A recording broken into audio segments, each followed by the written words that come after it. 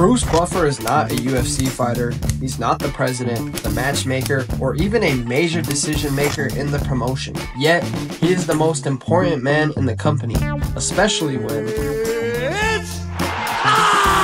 over two decades, Bruce Buffer's presence has marked the start of some of the greatest UFC duels. His booming voice, Live from the sold out HSBC Arena in Rio de Janeiro, Brazil. His contagious energy and his unique style has turned him into one of the most popular non-fighters in MMA. But none of this would have been possible without a sweet coincidence.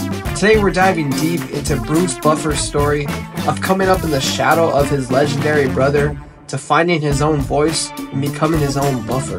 Born in Oklahoma and raised in Philadelphia, Buffer first came into martial arts while living in Philly. He began studying judo and eventually attained the rank of green belt. When he turned 15, Buffer relocated to Malibu, California with his family.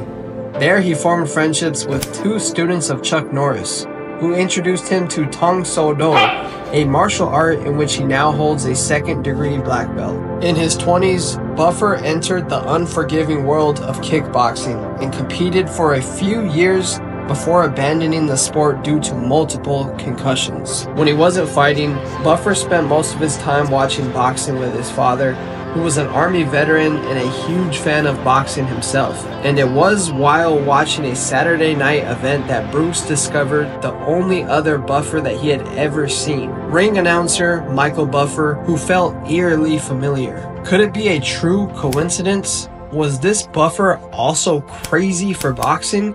Were they distant relatives?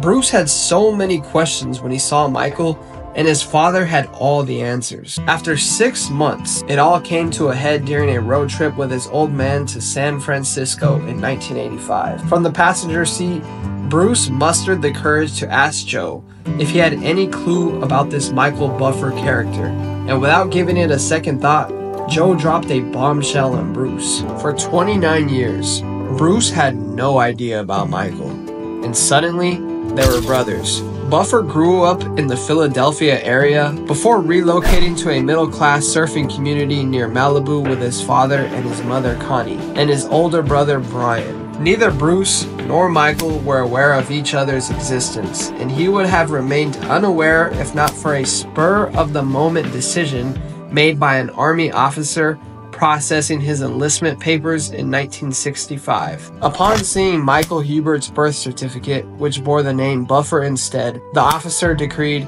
You're Michael Buffer now, soldier.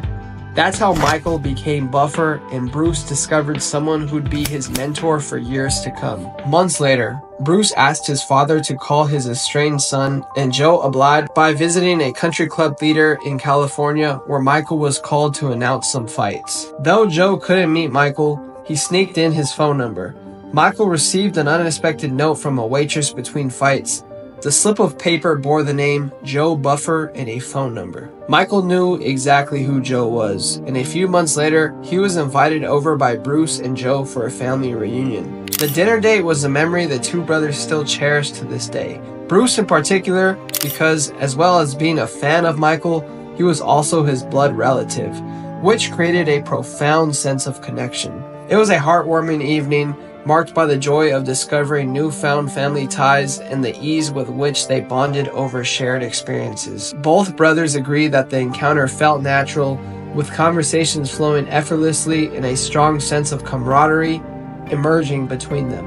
The reunion of sorts proved to be mutually beneficial for both Michael and Bruce, who entered his elder brother's life like the missing puzzle piece, confronting him about the millions of dollars he was potentially losing by not capitalizing on his own fame and catchphrase. Taking charge of his brother's affairs, Bruce locked down the let's get ready to rumble catchphrase so tightly that only one man could use it the catchphrase was still used in video games and otherwise, but not for free. And legend has it, Michael made a whopping $400 million thanks to Bruce's business savvy brain. Bruce made Michael a filthy rich man, and in return, Michael gave him a sense of purpose and direction. Bruce was always a fighter, he loved fighting as much as his second love, surfing. and it was only natural that he turned his passion into his profession. Michael reciprocated Bruce's favors by granting his younger brother his first opportunity in ring announcing. The chance came in the spur of the moment during a kickboxing event in Battle Creek, Michigan. Since Michael was busy that day, he sent Bruce in his place, and though Bruce later admitted that he sucked, it was a life changing experience nevertheless. A year after Bruce made his ring announcing debut, the UFC came into being, and when Michael was invited to announce the UFC 6 event, Bruce knew he had found his tribe. Michael blew the roof off with his energy at UFC 6, but his UFC career was short lived as it never quite clicked with him, and his sponsors at the now defunct World Championship Wrestling drew a clear line. It was either them or the newfound MMA promotion with no guarantee of a solid future. Michael chose wrestling, and Bruce convinced UFC bigwigs to give him his shot. It was tough, but the opportunities trickled in slowly. Buffer would receive occasional calls from the original owners of the UFC to announce a fight night at $750 per event, but then silence would follow for the next few months. Interestingly, Bruce's breakthrough moment had nothing to do with the UFC. A producer from Warner Bros. Studio saw one of the episodes he had announced and approached him. The producer mentioned that the NBC sitcom Friends, then in its third season, wanted to feature an episode about the ultimate fighting with Jon Favreau. They asked if Bruce was available to play himself, the UFC ring announcer. Without hesitation, Bruce accepted the opportunity and was featured on episode 24 titled The One with the Ultimate Fighting Champion. After that, Bruce started to regularly feature in the UFC, and within his first few years in the promotion, he had his own catchphrase It's time. Uh, no, I did not do that right. How did you come up with its time? I would open the show and go, it's time. Week in and week out, Buffer started roaring inside the octagon in his tailor made suits. His energy, his passion for the sport, and his gifted ability to fuel the fire under battle ready fighters took his popularity through the roof. Every time Bruce steps inside the octagon, he brings something new, but he often saves his best for monumental UFC events like UFC 100 where his 360 degree spin broke the internet as well as tore his knee for the first time in his career. The second time he damaged his knee was during introductions of Georges St-Pierre and Jake Shields before their welterweight title clash in Canada.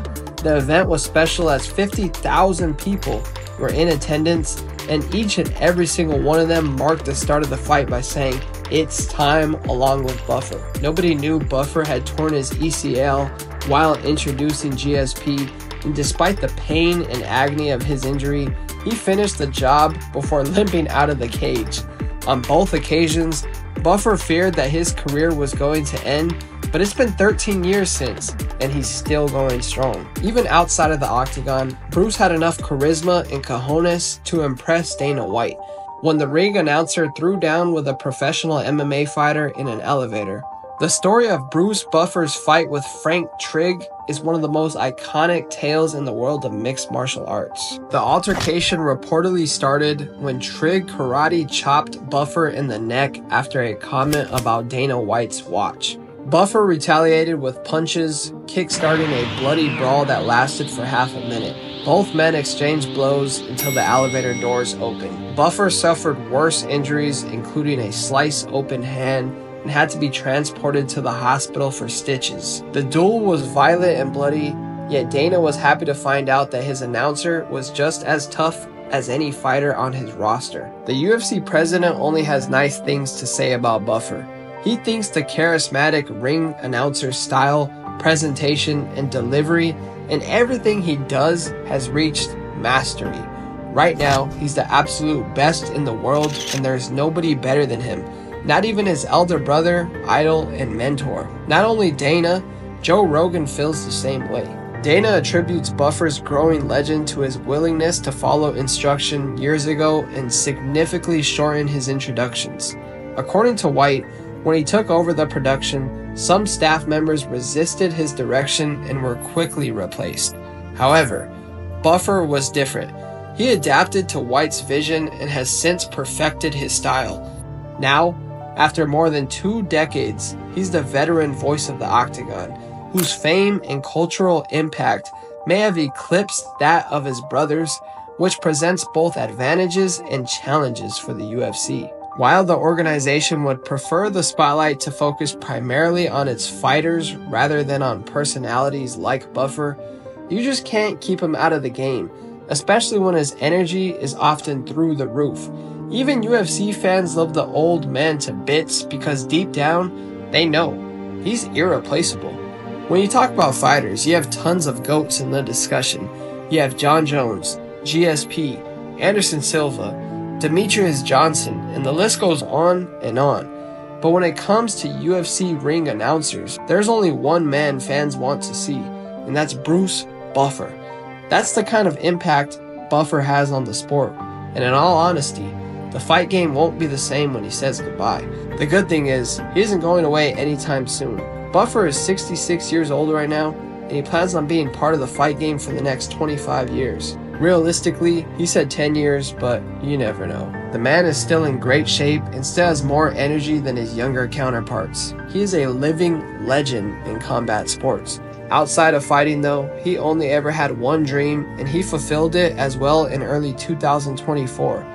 His dream was to show his buzzing vocals at the Super Bowl, and he did exactly that as he played a pivotal role in setting the stage for the event's opening night festivities. Buffer introduced both competing teams, the defending champions Kansas City Chiefs and the San Francisco 49ers, and his signature delivery added an extra layer of excitement to the spectacle. Is Bruce Buffer the greatest ring announcer of all time? Let us know down below. Comment if you liked the video. Please subscribe to the channel and turn on those notifications. Thank you for watching, and hopefully, we'll see you on the next one.